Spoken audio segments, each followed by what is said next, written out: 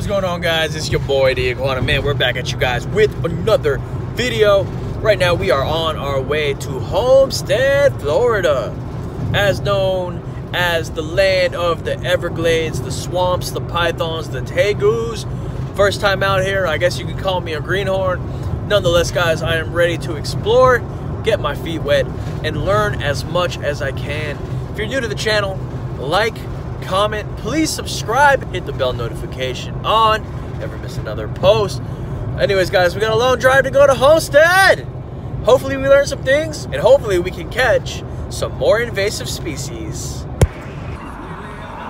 A special guest in the building. What's your name, bud? Pedro. Guys, Pedro is gonna be our assistant on today's mission. So our good buddy Pedro directed us to a spot where he says he's seen what he thought were tegus. Upon further investigation, we realized these creatures were in fact spiny-tailed iguanas. There he is. Try and get the shoe. Oh my god. Go ahead, bite this. Bite this. Bite this. Bite this. Oh my gosh. Oh wow. Just hold him tight. Good job, bro. There, right? Yeah. No, right there, right there, right there, right there. Because he's big. He's big. He's getting tired right now. Hold on. Give him. Oh my god. Ugh, gotcha. Gotcha. Iguanas in the bag. Look at that. You saw how he attacked my shoe, dog? He's still growing. Well, he's a, he's a sub-adult. Got to watch out. We got a very short snare. He's got a very quick, powerful bite. Don't want to be on the business end of him. see if we can just get him off real quick. There he is. Look at that. That is stunning right there, you guys. You guys can tell he's a male because he has this big mohawk right here. It's very impressive. And what they'll do is they'll actually use this to help attract other females, guys. Mm-hmm. Just like male iguanas, these things are invasive species introduced over here via the pet trade and they breed like crazy guys we're over here at a golf course and these dinosaurs are roaming everywhere you guys seen him he was on top of this hill he claimed territory he saw elias he was not you got any holes in there? yeah, there's probably there's who knows, bro. They're probably out here trying to figure out new places to nest. But an absolute killer species. Look at the coloration. And you can see he's got little hues of orange and crimson in there, along with the black and the gray. Those are breeding colors of this species, guys.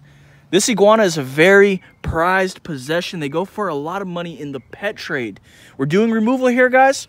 All these iguanas will be up for adoption if you guys want to adopt one, all right?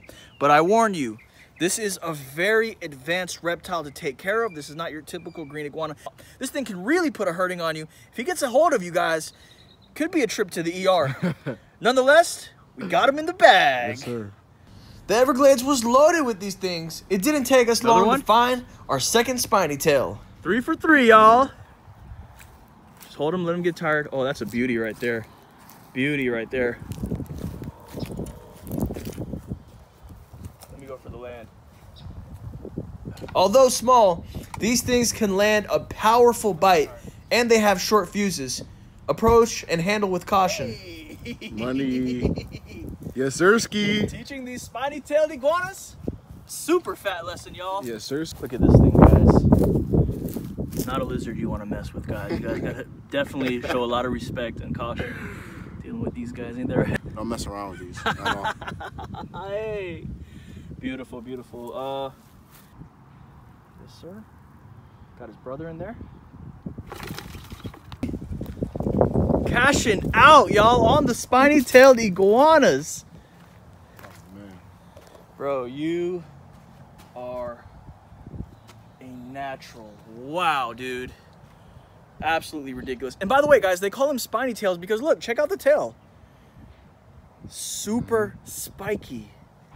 Dude, this is amazing, Elias. Snapping. We're doing we're doing super good, bro. From baby to basically adult Ray. When spiny tail iguanas hatch, they're bright green, just like the green iguanas. As they mature, the green fades, the spikes come out, along with the attitude and the gray camouflage. This iguana is known as the fastest lizard on Earth. Although aggressive and feisty when freshly wild caught, They do tame down well and they can make excellent pets as long as you have the right environment and habitat to put them in. These highly intelligent lizards love to eat greens and small insects. Oh my gosh. Oh my. Whoa. It's attacking a female. Dude, look how it moves, bro. It moves so quick. It's like low to the ground. and It's super fast. Oh my god. Dude, we need to get the pole, bro. We know where We he's have to. nesting. Yeah, we know where he's nesting. Yup. Holy crap. Oh, my Oh my gosh. God, bro. oh my gosh. Oh my gosh. Oh my gosh. That oh is my crazy. gosh. Where'd he go? Where'd he go? You come from over here. All right. It's right Oh, he- oh, it's no. That lizard that you guys seen is the African red-headed agama, another invasive species. The males are super vibrant in color, but super smart. Alright, We ended up getting a female right here. Species that we've been looking after, guys. But this is the female version of it right here. Oh my goodness, she is not happy. Let's see if we can grab her. Look at this thing. It kind of looks like a bearded dragon. Hold on. There she is. Oh my goodness. Whoa. there we have it, guys. Finally, there we have it, guys. This is the female red agama. As you guys can see, she is not as beautiful as the male, though. You know, she's very, look at the colors of her. Very bland, very natural looking. Doesn't have that bright red head or that blue tail, but nonetheless, a very interesting lizard. And these lizards are only found here in Homestead, guys. We don't have these in Broward. Just to put in perspective how gorgeous this lizard absolutely is. Look at the colors of her. Got that brown head. She's got that indigo purple arm going along to some nice multicolor scales on the backside. Very beautiful lizard. Look, oh wow, look underneath her. She's got some lines as well. Gorgeous specimen. All right, y'all, we just seen two iguanas come out of the bush. There's a green one, there's a red one. Out here in Homestead, apparently there are red and blue iguanas out here. Wow.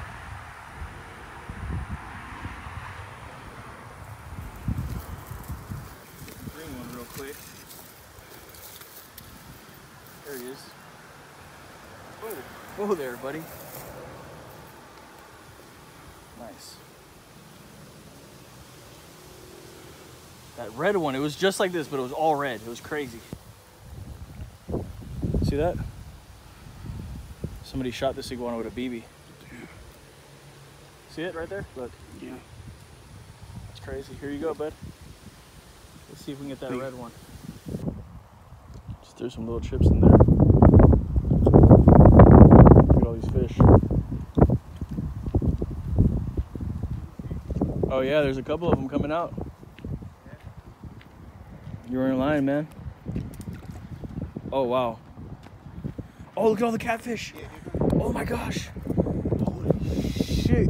Dude, they just came out of that nest. Holy crap. Sometimes you can multiply them. No way, dude. I think people have been used to be. Oh my gosh. Buddy, come on. That is insane right there, my friend. Do you like them? Yeah, that's Catch them? I, So if you just throw some, there- there's gonna be more, huh? Okay, I'm waiting. Look at that, they're all coming out. Oh my gosh. Look at that.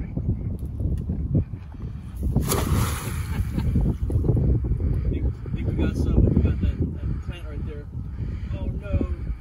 Oh no. Okay, well guys, we did get the large bird. Check it out. Come close. We did get a couple of them. That's okay. Look at that, guys.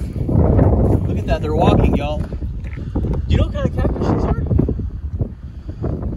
I don't know, those are the ones that get like super huge, but they're big. They get really big. Yeah, really big, but that's the one that's like- Guys, comment down below. I think they might be walking cats. You see how they're walking? Yeah, yeah. One of those catfish stabbed me, dude. Man, bro, you alright, bro? I think he hit a vein, bro. Ah. All right, we gotta clean this out. ASAP. What a man. Dang, that thing hurts, bro. A catfish stabbed me, dude. It's right in my hand. I know he catched it. You were trying to take it out and then Yeah, just oh. he just went boop. Oh, look, this is the catfish that pricked me. It's not his fault, guys. He was just uh, basically protecting himself. He didn't know what I was doing, but he after I got the hook out, he just stuck. Look, it's big. Look. Yeah, he went. blood right there. Yeah, he went deep, bro. He went probably about like half inch deep. Here, you can throw him back, bro. It's okay. It's not his fault. No, this one. Throw him back in the water, bro. Let him live. There he goes. Whoa, that thing hurts, bro. I could feel it all in my palm, bro. It got me right there. Like it just stuck and then stuck out, bro. That's crazy. And then, uh, hey, hey, you can help. You mind helping me clean this up, bro? Yeah. All right, we got a first aid kit, guys. We always traveling with first aid kits out here, especially when we on tour. Cause you never know when a something like this is gonna happen. But starting to feel a little lightheaded. We got Pedro in the building. He's gonna go ahead and help me out. Ouch. Because you see, there's a vein right there, right? Mm. Yes. You hit the vein. So that venom is probably going all through my hand right now. We're gonna lose some pressure on there for a little. An insect sting relief packet right here. Use. I don't know. It's. I mean, it's. It's. It's not an insect sting, but it is a sting. So maybe it might offer some relief. But pain painkiller in there as well. Get that into that wound. Damn, my whole this whole thing feels numb right here, bro. Honestly, this feels numb. But the the, the I feel it right here in my wrist and right here in the, in the palm of my hand.